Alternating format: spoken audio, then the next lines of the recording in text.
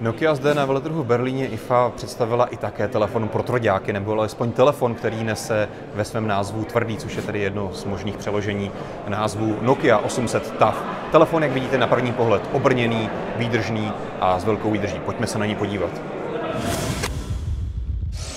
Nokia 800 TAF, kromě toho, že nabízí zvýšenou odolnost, je hodně obrněná, tak jinak je vlastně postavená na podobné platformě jako všechny ostatní feature phony od Nokia, které jsme si zde mohli dneska možnost prohlédnout. To znamená KaiOS, základní procesor Snapdragon 205, 512 MB RAM, a 4 GB interní úložiště, microSD karty, takže tohle je celkem základ, který znáte i z ostatních hloupých telefonů. No ale co je zajímavé na tomto telefonu je samozřejmě ta odolnost, jak můžete vidět, Nokia tady například neváhala, i ten telefon asi dvě hodiny v kuse házela na zem z výšky dvou metrů.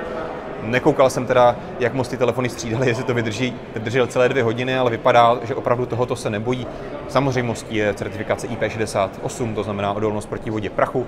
To vás asi moc nepřekvapí. Eh, co s tím Nokia také se tady chlubila je potom milistary standard, který je konkrétně MIL STD 810G, což když to hodně zjednuším, tak to znamená, že ten telefon odolá vysokému, nízkému tlaku, změnám teplot, eh, různému, různým otřesům, nárazům, šokům, plísním a tak podobně. Takže eh, ten telefon by měl něco vydržet a Nokia ho jasně cílí pro lidi, kteří buď aktivně sportují, někde na hrách lezou, anebo pracují v nějakém vlastně nebezpečném nebo prašném prostředí. Eh, tomu ostatně odpovídá i hodně tlusté provedení, ten telefon je celý pogumovaný, takže nehrozí, že vám snadno vypadne z rukou. Tlačítka samozřejmě jsou vystouplá, takže by se měla i trošičku snadněji ovládat například i v nějakých tenčích rukavicích, takže to si myslím, že všechno napovídá tomu, že by to měl být celkem zajímavý telefon pro lidi, kteří se o svůj běžný, ať už tady hloupý telefon nebo právě nějaký smartphone, který je celý skleněný, tak trošku bojí. Displej na přední straně má 2,4 palce a rozlišení QVGA, takže žádná sláva, na druhou stranu je to prostě hloupý feature phone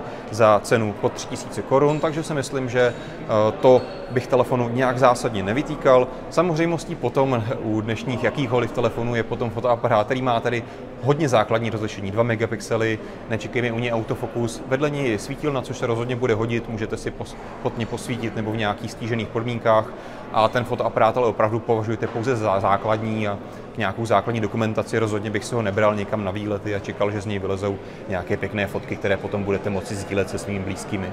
Jednou z hlavních předností, kterou jsem zmiňoval na začátku, je také dlouhá výdrž toho telefonu, hlavně ta pohotovostní. Kapacita baterie 2100 mAh, což by podle Nokia mělo nabídnout dobu pohotovosti až 43 dní, což je opravdu hodně zajímavé a můžete si spolehnout tedy, že pokud potřebujete někam na měsíc a půl vyrazit do divočiny a být stále na příjmu, moc ten telefon nepoužívá, tak tento telefon vám to například nabídne.